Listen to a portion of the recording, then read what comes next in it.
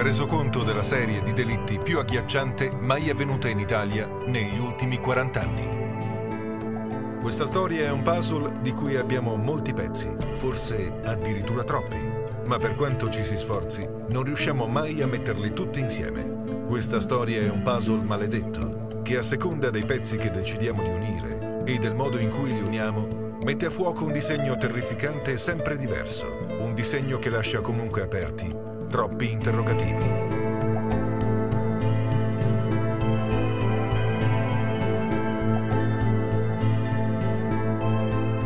Quello che segue è il resoconto dei delitti del cosiddetto mostro di Firenze. Stiamo parlando di una vicenda che ha messo in crisi tutti i modelli criminologici esistenti sui serial killer, al punto che possiamo dire che esistono i delitti tradizionali, i serial killer e il mostro di Firenze.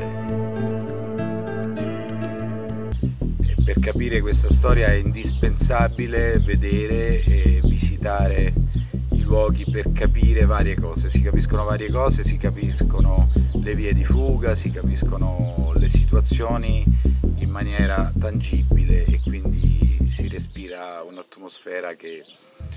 Eh, si rientra dentro quelle che sono state le situazioni di quei momenti terribili. Esattamente, anche perché la maggior parte non sono cambiati neanche a distanza di 50 anni e, e quindi è importante per chi vuole veramente capire questa storia vedere questo, questo, questi documentari. Entrare all'interno dove è successo, dove sono avvenuti questi delitti.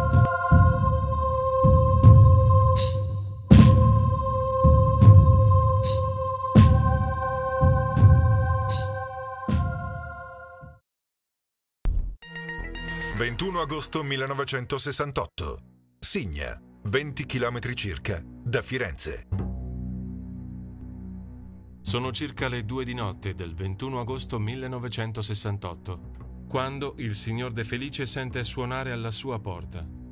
Quando si affaccia al balcone per vedere chi è, la scena è da film dell'orrore. Nel bel mezzo della notte, solo e scalzo, c'è un bambino di sei anni che gli dice semplicemente Aprimi la porta perché ho sonno ed ho il babbo ammalato a letto. Dopo mi accompagna a casa perché c'è la mia mamma e lo zio che sono morti in macchina. De Felice chiama i carabinieri che, seguendo le indicazioni del bambino, arrivano fino alla macchina dove effettivamente si trovano i corpi della madre, del piccolo e del suo amante. Secondo la versione ufficiale, dopo una serata passata al cinema, Barbara Locci, casalinga di 32 anni, e Antonio Lobianco, manovale di 29 anni, si sono appartati in cerca di intimità a poca distanza dal cimitero di Signi. All'interno dell'auto, assieme ai due amanti, anche il figlio della Locci, Natalino.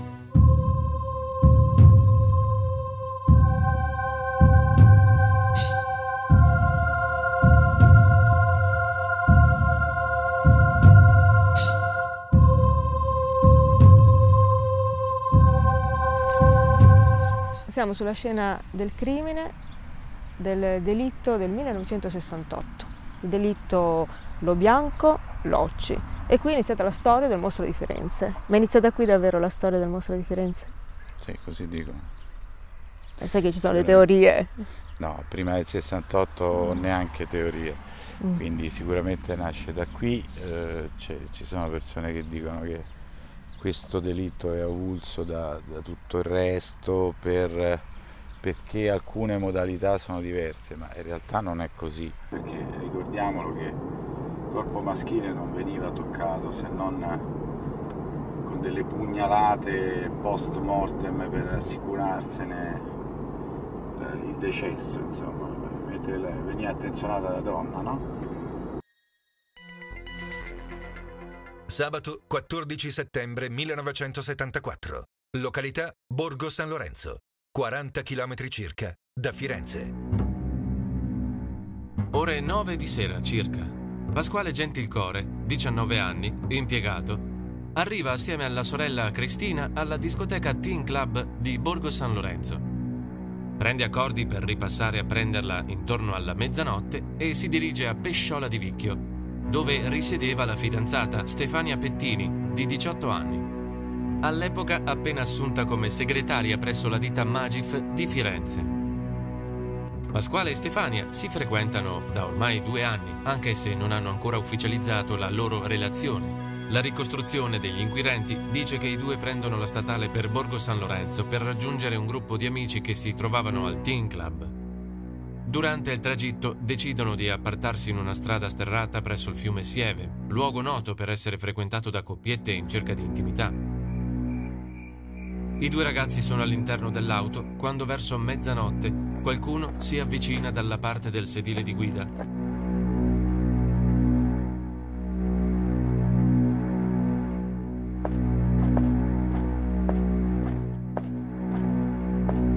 Lo sconosciuto spara a bruciapelo, fulminando Pasquale con un colpo al cuore ed altri quattro colpi al corpo. Altri quattro colpi raggiungono Stefania in parti non vitali. Poi, secondo la ricostruzione ufficiale, la ragazza viene trascinata fuori dall'auto e spinta a terra nel luogo in cui poi verrà ritrovata, ovvero sotto il tubo di scarico dell'auto, dove la poveretta viene colpita furiosamente da 96 coltellate. Tre di queste ferite sono mortali e sono state inflitte mentre la ragazza era ancora viva e probabilmente cosciente, provocando così per la prima ed unica volta nella serie dei delitti un incontro fisico tra la vittima femminile ancora in vita e il killer durante l'assalto. Le altre 93 coltellate vengono inflitte post mortem e si concentrano soprattutto sulla zona pubica e sul seno.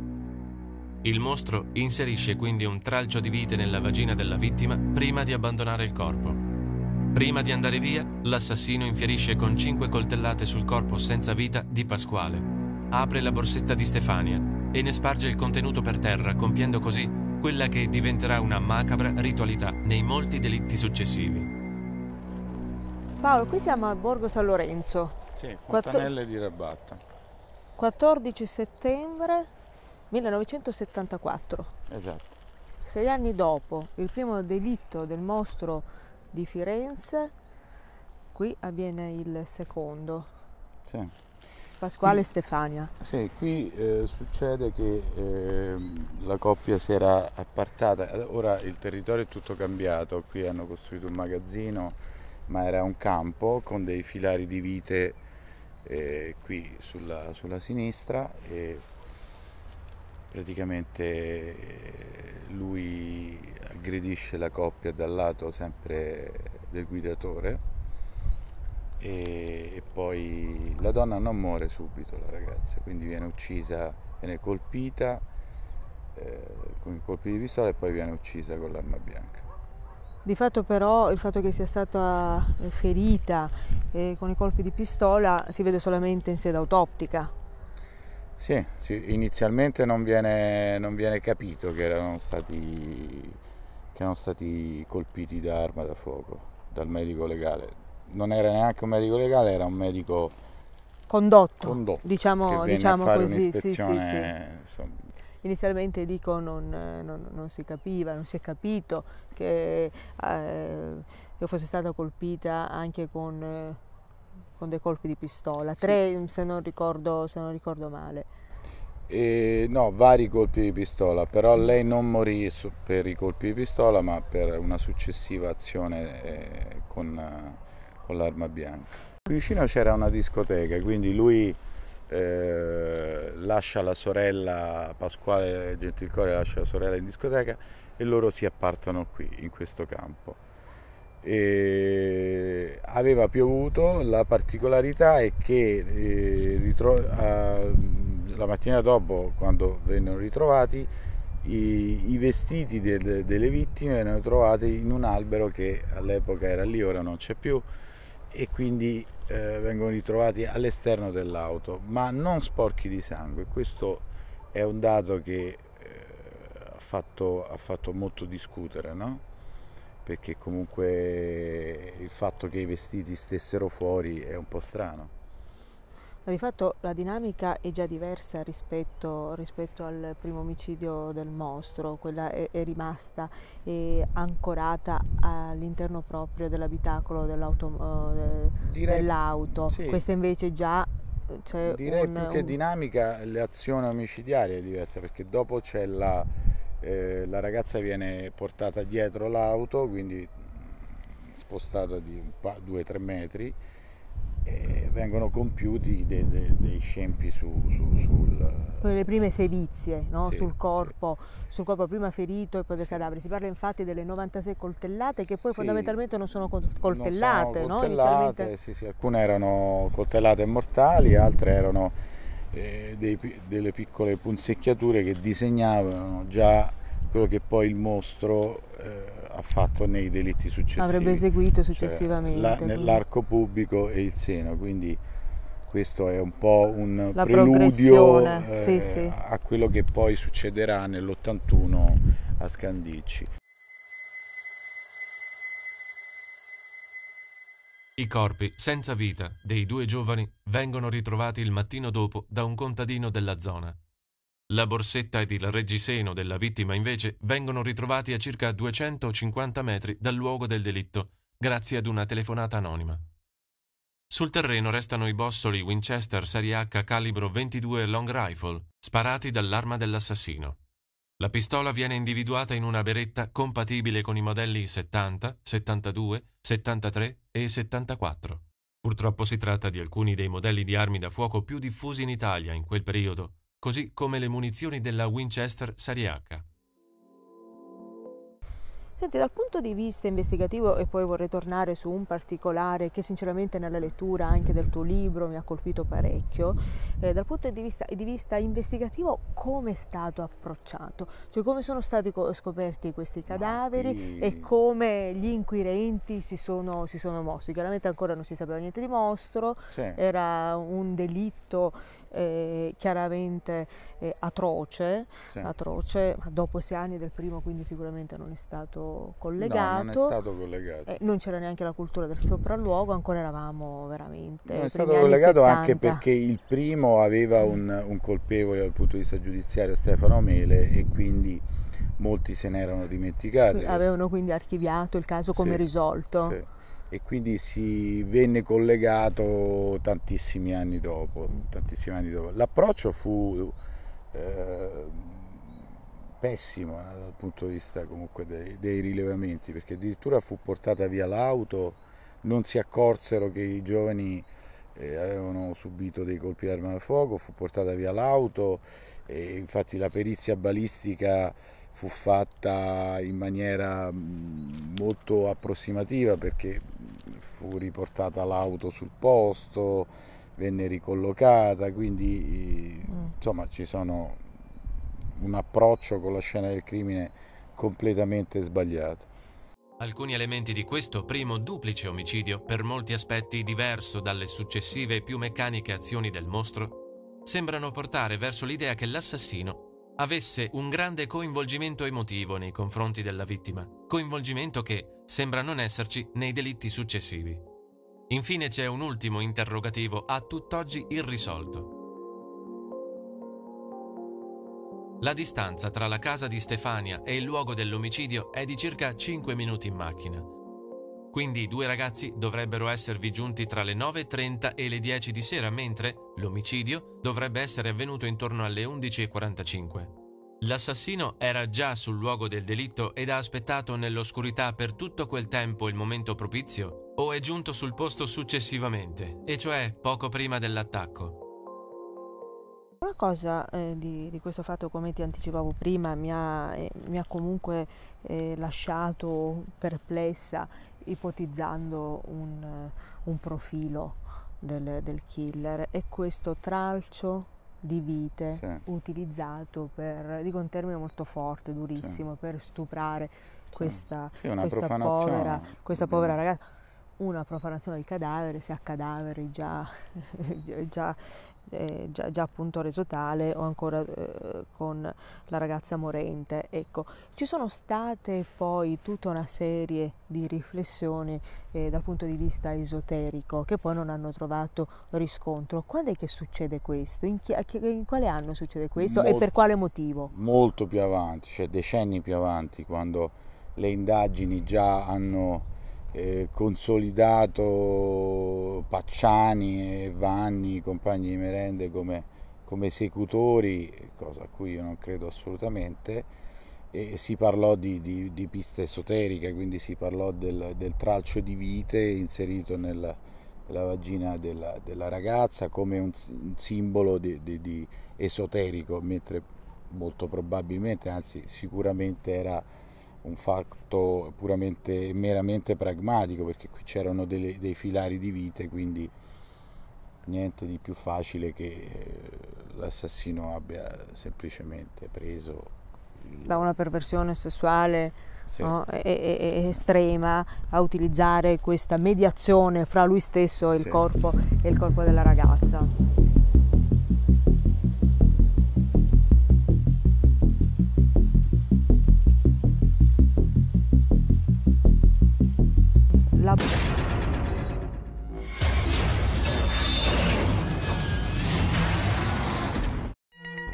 Sabato 6 giugno 1981. Località Mosciano di Scandicci, 15 km a sud di Firenze.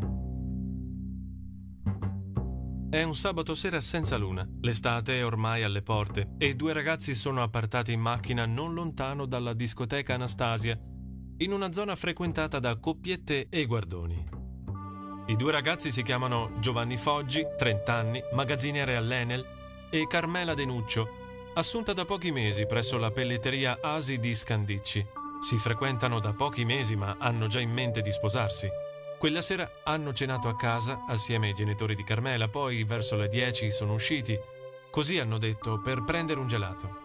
L'azione del mostro è fulminea e molto probabilmente coglie quasi totalmente di sorpresa i due ragazzi. In un attimo Giovanni viene raggiunto da tre colpi precisi, uno al cuore, uno al polmone e uno alla testa. Carmela invece viene centrata da cinque colpi, di cui uno sicuramente mortale, sparato a bruciapelo al tronco. In tutto l'attacco dura pochi secondi. L'arma è sempre la stessa, beretta calibro 22. I bossoli Winchester Serie H, che la perizia balistica confermerà essere stati sparati dalla stessa arma del delitto del 1974. Mosciano di Scandicci, giugno 1981, il terzo delitto del mostro di Firenze. Sì, qui ci troviamo in via dell'Arrigo la, la location è un po' cambiata rispetto a 30 anni fa. Giovanni Foggi e Carmela Dinuccio vennero uccisi qui nella ritmo color rame. E dove era posizionata esattamente la ritmo? La ritmo era qui alle nostre spalle, sotto quest'albero che era già così, fulminato da un fulmine e l'aggressione avvenne lì e poi eh, l'autore trasportò, trascinò il corpo fino a eh, praticamente lì sotto nascondendosi e compiendo la sua prima scissione del pub. 22 ottobre 1981. Località Le Bartoline, 30 km circa a nord di Firenze. È una serata abbastanza fredda. L'estate ha ormai lasciato spazio all'autunno. Stefano Baldi, operaio tessile di 26 anni, e Susanna Cambi, impiegata di 24, sono appartati in macchina in un viottolo isolato molto buio, sullo sfondo una cascina abbandonata. Sicuramente hanno sentito parlare dell'omicidio di giugno e forse hanno un po' di paura, ma si sa, queste cose capitano sempre agli altri. E quella poi è una zona piuttosto lontana da quell'ultimo omicidio. Hanno cenato a casa di Stefano, in fondo la loro relazione è ufficiale ed hanno in programma di sposarsi a breve. Dopo cena, verso le 22, escono sulla golf nera di Baldi, dicendo che sarebbero andati a vedere un film al cinema. I loro cadaveri verranno trovati la mattina dopo. Che tipo di escissioni furono, furono fatte? Fu abbastanza, ca- uno dei delitti eh, più, più virulenti questi, no? Sì, diciamo che già a Scandicci l'anno precedente c'era stata l'escissione del, del pub della, della ragazza e qui avviene un, un particolare ulteriore rispetto a Scandicci, cioè si denota un, un, una piccola pugnalata sul seno sinistro, quindi l'omicida inizia quello che sarà poi il percorso che seguirà nei successivi, quindi oltre al, al pub va a toccare anche il seno sinistro della, della vittima e si comincia a denotare un'evoluzione, se di evoluzione si può parlare. Al, delitto di Baccaiano di Montespertoli, giugno 82, questa è la piazzolina dove era, come vedi, una piccola piazzola dove era parcheggiata la, la macchina di, di Paolo Mainardi che era assieme ad Antonella Migliorini appartato qui diciamo però appartato è un termine un po' eccessivo perché come vedete è una strada di grande traffico quindi eh, passava, passavano varie macchine e, ed era visibile alle macchine che passavano. 19 giugno 1982 località Baccaiano 25 km a sud di Firenze sono le 23 e un quarto circa quando un amico della coppia vede la 127 del ragazzo parcheggiato in una stretta piazzola non lontano dal centro di Baccaiano. All'interno della macchina ci sono Paolo Mainardi, 24 anni, meccanico, e Antonella Migliorini, 19 anni, cucitrice presso un'azienda tessile. Sono una coppia molto affiatata e gli amici li chiamavano Vinaville, proprio come la famosa colla per sottolineare il fatto che non si staccavano mai. Come tutti i ragazzi della zona, hanno sentito parlare del mostro ed hanno paura. Gli amici delle vittime raccontano che Antonella in particolare ha il terrore di appartarsi in zone isolate e che pretendeva di fermarsi solo in zone trafficate e ben visibili. La piazzola dove si trovavano i due ragazzi ha in effetti queste caratteristiche, dato che si trova a poche centinaia di metri da un centro abitato e su una strada molto trafficata.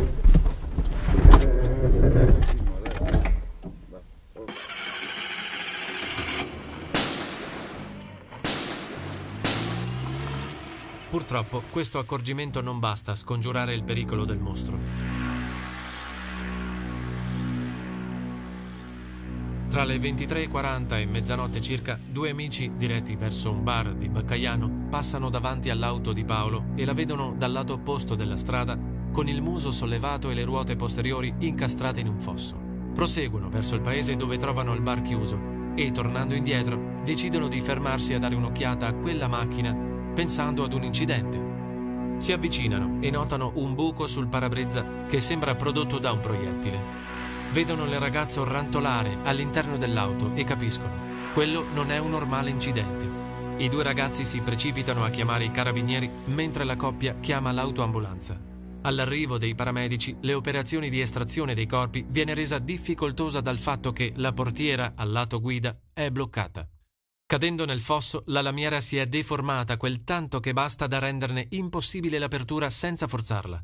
Lo sportello del lato passeggero invece è chiuso a chiave. Il corpo di Paolo viene estratto dall'auto e trasportato d'urgenza all'ospedale dove spirerà poche ore dopo senza aver mai ripreso conoscenza.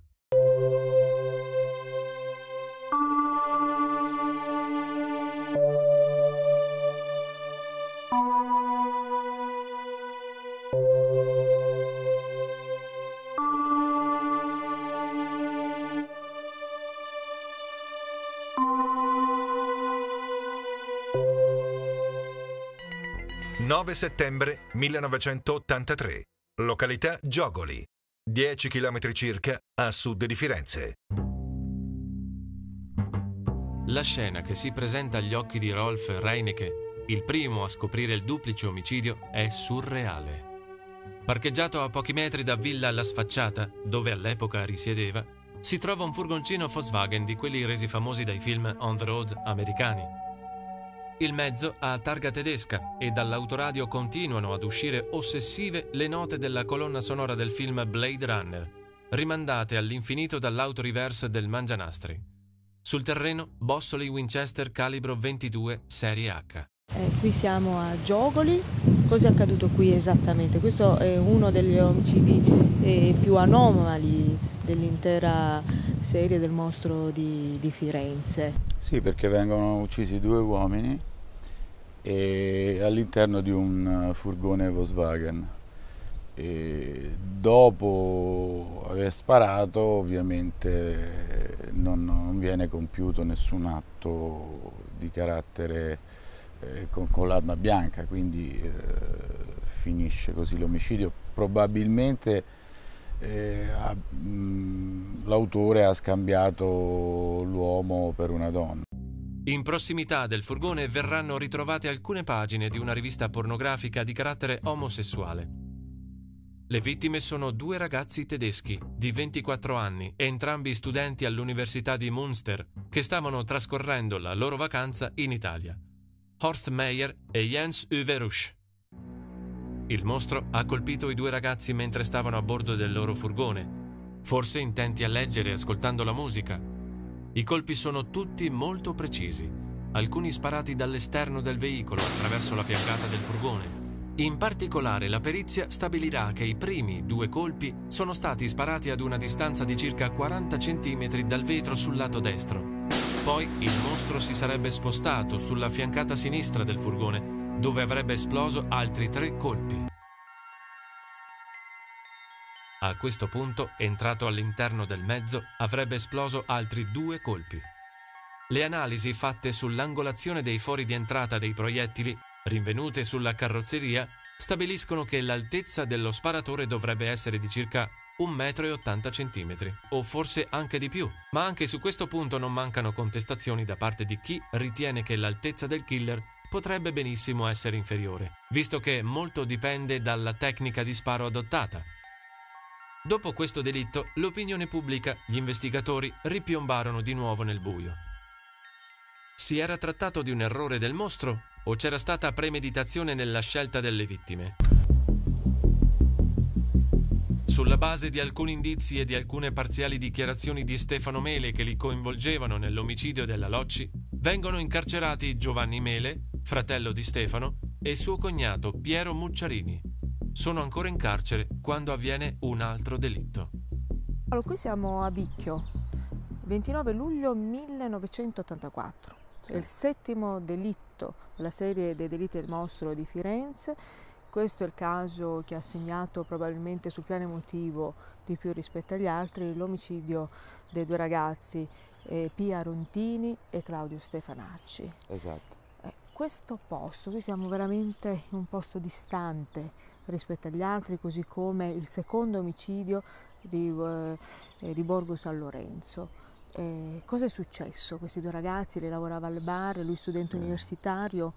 Località La Boschetta, loro si, non dovevano neanche uscire quella sera. La mamma di lei disse ma no, ma esci, eh, ti svaghi un po' dopo aver lavorato al bar tutto il giorno e vennero qui e con eh, lui aveva una Panda Celestina che era proprio qui, parcheggiata qui e verso le 21 e tre quarti furono uditi dei colpi eh, da delle persone a distanza ma la calibro 22 comunque è, è, un, è una pistola che non fa molto rumore quindi non è stato dato più di tanto eh, risalto a questa cosa. 29 luglio 1984. Località Boschetta di Vicchio, 30 km circa da Firenze. Pia Rontini aveva 18 anni e da poco era stata assunta come barista presso un bar non lontano da casa. Quella sera, a causa di un improvviso cambio turno, rientra prima del previsto e riesce a cenare con la madre. Verso le nove di sera, su suggerimento della madre stessa, esce per andare a raggiungere il fidanzato Claudio Stefanacci, studente di 21 anni. Insieme vanno a fare una passeggiata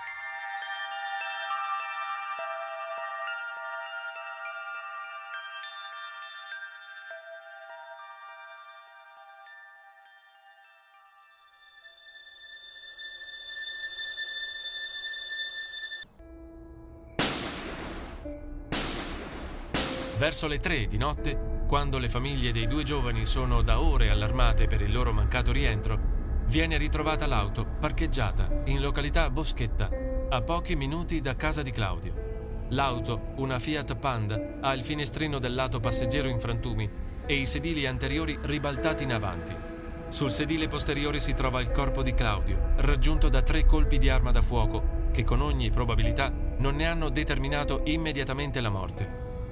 Pia si trova a pochi metri dall'auto, lungo un viottolo laterale. È stata raggiunta da alcuni colpi di pistola molto precisi, quando ancora era all'interno dell'abitacolo e con ogni probabilità ha perso immediatamente conoscenza.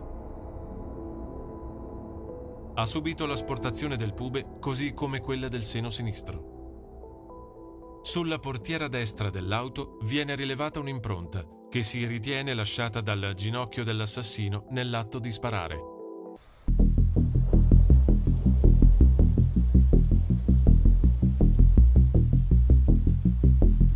Jean-Michel Craveichvili e Nadine Muriot facevano campeggio libero con la loro tenda canadese nella campagna toscana. L'omicidio sarebbe avvenuto nella notte tra l'8 e il 9 settembre. Secondo altri, la notte tra il 7 e l'8 stima effettuata in base allo stadio di sviluppo delle larve di mosca sul corpo della ragazza. Allora Paolo, siamo, siamo arrivati qui a Scopeti l'8 settembre del 1985 c'è l'epilogo finale dei delitti del mostro. Una tenda, due ragazzi francesi venuti in Italia eh, presenti già in Italia dal 5 settembre e poi cosa, cosa succede? Il venerdì, ricostruendo attraverso le varie ricevute che lei, la donna, aveva eh, in macchina, venerdì arrivano qui più o meno e dunque innanzitutto io indicherei qui c'era la tenda sì? Dietro c'era l'auto, la Golf bianca e, e, si erano accampati qui, quindi il venerdì alle, alle più o meno di pomeriggio. La data dell'omicidio non è l'8 ma il 7 se non addirittura il venerdì 6, ecco. 7 o 8 settembre 1985. Data incerta. Località Scopeti. 20 km circa da Firenze. È notte. I due francesi stanno facendo l'amore all'interno della loro tenda, immersa nell'oscurità di una piazzola a San Casciano, Val di Pesa, località Scopeti. Secondo una ricostruzione, il killer si sarebbe dapprima avvicinato alla coppia dal lato della tenda, rivolto verso la piazzola, dove avrebbe tagliato il telo esterno della canadese per poi spostarsi sul lato opposto ed aprire il fuoco all'interno. La ragazza che con ogni probabilità si trovava distesa sopra Jean-Michel sarebbe morta immediatamente, raggiunta da una serie di colpi letali. Il ragazzo invece, colpito solo di striscio e completamente nudo, sarebbe riuscito a guadagnare l'uscita della tenda e a percorrere alcuni metri nel buio della notte prima di essere raggiunto dal mostro e finito a colpi di coltello. Il corpo verrà ritrovato ad alcuni metri di distanza dall'auto, parzialmente coperto da alcuni coperchi di bidoni che si trovavano nei paraggi. Una volta freddato il ragazzo, il mostro sarebbe tornato sui suoi passi e secondo alcuni avrebbe compiuto le sue scissioni all'interno della tenda.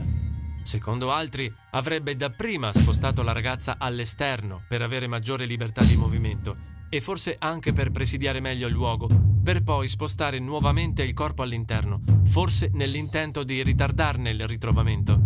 Alla donna vengono asportati il pube ed il seno sinistro tenda potrebbe essere un elemento eh, di analisi per eventuali ricerche del DNA, che sarebbe l'unica strada percorribile per eh, verificare se le cose andarono veramente così, se comunque eh, invece c'era un'altra persona al posto di, di, di quelle che hanno, che hanno poi condannato, magari facendo un riscontro con uh, i vari inquisiti, anche se no, non è facile ovviamente, però l'unico percorso sarebbe questo, quello scientifico che in alcuni casi ha permesso di risolvere cold case vecchi anche di tanti tanti anni, quindi in teoria potrebbe essere possibile. Non mi sembra che questo è stato mai fatto, non mi sembra che ci sia mai stata la volontà da parte de- degli, del, degli investigatori e comunque degli inquirenti di fare una cosa del genere, perché comunque questo caso rimane e rimarrà secondo me un caso irrisolto e controverso tra chi crede a quelle sentenze estremamente zoppicanti, estremamente carenti e chi non ci crede eh, come me. E quindi eh, vista la volontà e visto lo scenario credo che questo caso rimarrà purtroppo un caso come quello di, di Jack the Ripper, eh, un caso assolutamente risolto.